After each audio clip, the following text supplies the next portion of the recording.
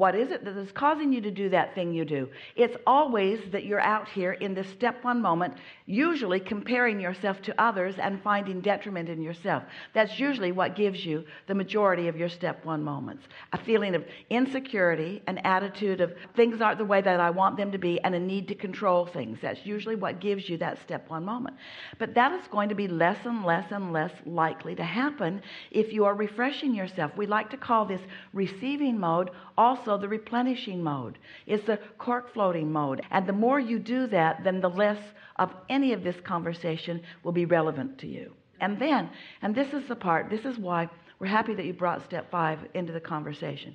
This is the reason that we are so delighted when you find yourself consistently in step 3 4 5 3 4 5 3 4 5 3 4 5 3 5 4 5 4 5 4 5 4 4 4 4 5 4 4 4 4 5 4 4 4 5 which means 1 but in other words is that once you are steady in your vibration then even in the midst of a step 1 moment where you're doing that thing you do at least now you know you're doing that thing you do so now you're making more deliberate decisions. Now, see what you've done?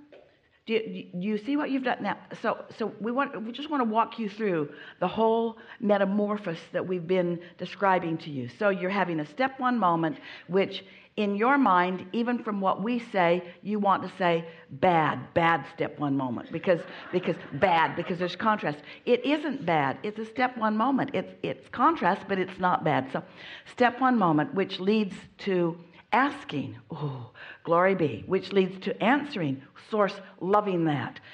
And then you finding yourself in step three where you are now receiving and now you like the feeling of it, so you practice it often and you use tools like rampages of appreciation and looking for positive aspects and meditation to hold yourself more steadily in step three. And now you've mastered it, you're really good at it.